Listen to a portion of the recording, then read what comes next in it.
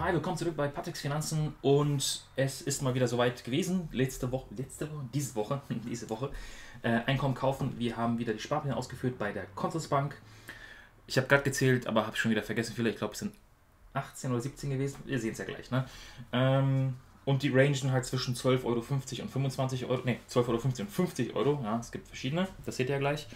Und dann schauen wir uns noch ins, äh, haben wir uns noch kurz das Portfolio an. Äh, die Performance von 2022 äh, bisher. Ne? Heute ist der, keine Ahnung, der 6. oder 7. der 6. Februar 2022. Also so ein bisschen Performance vom Februar haben wir auch schon mit dabei. Sowohl Januar als auch Februar ein bisschen negativ. Ja, wen wundert? Ja, gar nicht mal so viel äh, wie bei einigen anderen. Also, ich mache mich klein, wir schauen mal rein. Äh, Kalenderwoche 5, 2022, Februar. Und los geht's. Wir haben gehabt äh, Alibaba 25 Euro. Ich werde nicht alles vorlesen. Ich mache, weißt du was, ich mache es einfach Maximum Size und ich mache mich immer ganz klein in die Ecke. Dann seht ihr einfach besser. Na, bleibst du gefälligst groß. Dann seht ihr besser, dann könnt ihr einfach pausieren und es anschauen. Also, 25 Euro Alibaba. Dann haben wir gehabt 25 Euro Allianz, da möchte ich auf 14 Stück kommen. Das heißt, da werde ich noch in den nächsten vier Monaten, bevor wieder Dividendenauszahlung ist, ein bisschen mehr äh, reinmachen müssen. Da muss man gucken, wo das Geld wieder herkommt. Aha. Wieder immer, immer das gleiche sozusagen. Dann haben wir gehabt äh, BAT, British American Tobacco, 12,50 Euro. Äh, die sind ja schon über 1000, also ich habe viele, die sind schon über 1000 Euro. Ein paar möchte ich einfach weiterlaufen lassen. Äh, Ali, ne, sorry, äh, BAT, British American Tobacco ist einer davon, aber nicht mit 25 Euro, sondern der teilt sich jetzt einen 25 Euro Sparplan mit Omega Healthcare, die ich auch weiterlaufen lassen möchte, aber halt ein bisschen, bisschen weniger. Also 12,50 Euro. Dann haben wir gehabt äh, BYD 25 Euro, die sind auch gut gelaufen, wirklich. Äh, ich glaube 60% im Plus oder was bin ich bei denen momentan. Costco 50 Euro, ja, das ist einer der neuen Sparpläne seit äh, letzten Monat ne, mit C-Limited und den habe ich jetzt vom 15. auf den 1. Ge äh, gezogen, weil eigentlich hätte es so sein sollen. Hat mir eigentlich ein bisschen in die Karten gespielt, weil äh, ich dadurch ein bisschen besseren Einstieg bei äh, ähm, bei C hatte als bei Costco, obwohl alle gefallen sind. Ne? Aber das ist halt, äh, das war halt so im Januar.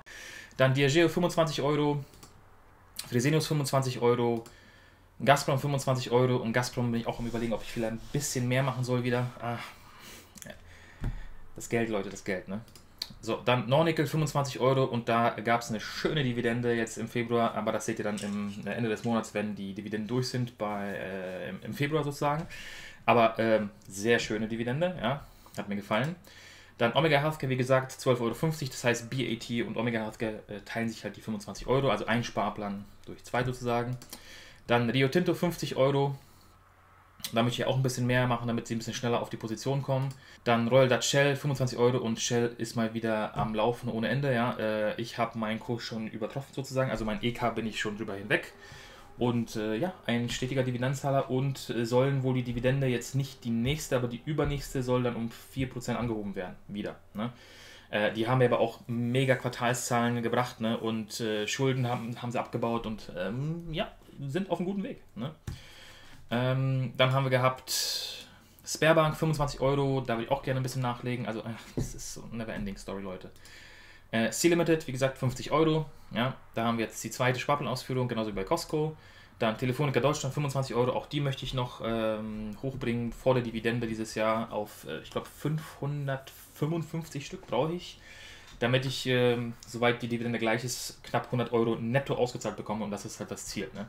Genauso wie bei der Allianz, also nach Steuern, netto, alles was da überkommt. Ne? Äh, Tencent 25 Euro, Domino's System 25 Euro und last but not least für den Monat Vonovia 25 Euro und somit haben wir investiert 500 Euro genau. 492,61 Euro äh, wurden investiert, 500 Euro diese Gesamtsumme, davon waren halt 7,39 Euro die Gebühren. Ja? Und das Ganze soll mir bringen 16,09 Euro brutto pro Jahr äh, per annum, beziehungsweise 3,22% Rendite. So, wir springen mal zu äh, Portfolio Performance. Bevor wir dahin springen, nochmal für alle, die so wie ich sehr viel pendeln und gerne sich weiterbilden möchten mit äh, bisschen Knowledge, aber nicht die Zeit haben, Bücher zu lesen. Ich kann euch Audible ans Herz legen. Wie gesagt, 30 Tage kostenlos. Wenn ihr unten den Link benutzt, da könnt ihr mich ein bisschen supporten. Da kriege ich 10 Euro für. Ihr kriegt da gar nichts für. Ihr könnt auch nach dem ersten Buch direkt ähm, das wieder stornieren, wenn ihr wollt. Und das Buch behaltet ihr trotzdem. Das heißt immer noch Zugang dazu. Das ist wirklich ein cooles Ding. Also es ist nicht so, dass ihr, wenn das Abo abschließt und dann wieder kündigt, dass das Buch weg ist, sondern ihr könnt da immer noch drauf zugreifen, immer noch hören. Äh, ich finde es ganz cool. Ja?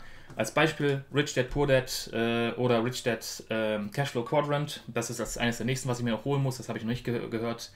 Ähm, Richard Poor, habe ich schon gesehen. Oder Der reichste Mann vor Babylon. Also es gibt ein paar gute Finanzbücher auch, äh, falls ihr in dem Thema was machen wollt. Ne? So viel dazu. Also, dann, so sieht das Depot momentan aus. Shell ist halt wieder gut gelaufen, deswegen ist Shell mal wieder an ersten Position, hat Gazprom abgelöst, 6,84%. Dann kam Gazprom, dann kommt Apple, Allianz, Cisco, Microsoft. Wie gesagt, Microsoft mache ich ja jetzt mit 100 Euro die Sparpläne oder den Sparplan jeden Monat. Und wir schauen, wo ist die Tausender-Marke und die wird natürlich ein bisschen verschoben sein. Ihr seht es wieder hier. Ach, ist wieder hinter dem ersten, äh, äh, ersten Viertel. Warta ist knapp drüber und Alibaba ist knapp drunter. Mhm. Sperrbank auch wieder runtergefallen. Amazon ist kurz darunter. Mercado Libre ist wieder drunter. Naja. 500 Euro haben wir hier. NIO ist noch knapp drüber und Vonovia ist knapp drunter. Mit der nächsten Sparplanausführung, wenn die Kurse gleich bleiben, wird Vonovia die 500 Euro wohl überspringen und Rio Tinto wird es genauso machen und Tomra hat noch ein bisschen. Ne? So, Performance. Ihr seht äh, eigentlich alles im Minus, bis auf die Consorsbank, die ist gut gelaufen. Ihr seht hier, kommt direkt minus 3,5%, im Januar minus 1,4%, im Februar bisher minus 2,2%. Die Giro richtig gut runtergegangen, minus 8,3%, im Januar minus 3,4%, im Februar bisher insgesamt minus 11,3%. Das schlechteste Depot, was so läuft momentan. Mhm.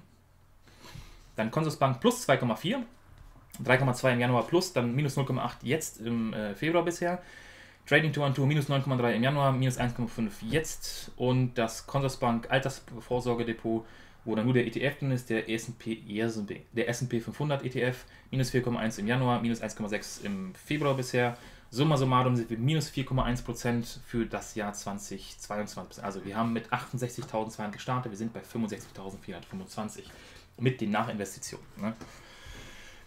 Ja, Branchen so, haben wir Tech äh, ist an zweiter Position, Konsum 20,53, Energie 17,83, weil halt wieder gut gelaufen ist, sowohl Gazprom als auch Shell sind gut gelaufen.